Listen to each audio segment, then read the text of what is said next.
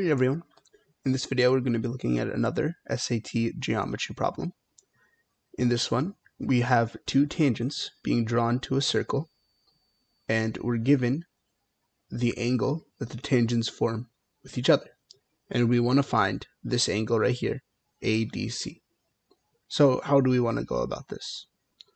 Well, first thing to note is, and as we learned in geometry class, tangents to a circle are always perpendicular to radii who are joined with them and drawn to them. Right? So that is our first bit of information. Now, I'm going to draw a line from the center point D bisecting point B. Since it's bisecting, we know that these angles have to be 22.5 and 22.5. And now, what else do we know? Well, we have two triangles with a radii, an angle, another side that's par- uh, that's of course equal to itself for both triangles, and we know that these two angles are the same. So, or as these two angles, right? 22.5, 22.5, 90 degrees and 90 degrees.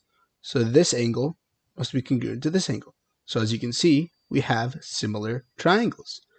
And, well, what are we trying to find? We're trying to find this overall angle. Well, we know that the angles of a triangle have to add up to 180. So we know that 22.5 from this angle plus 90 from our right angle plus our mystery angle here is going to have to equal our 180. So know that 180 equals 112.5x plus x. And now we simply subtract from both sides and we get x equals 67.5.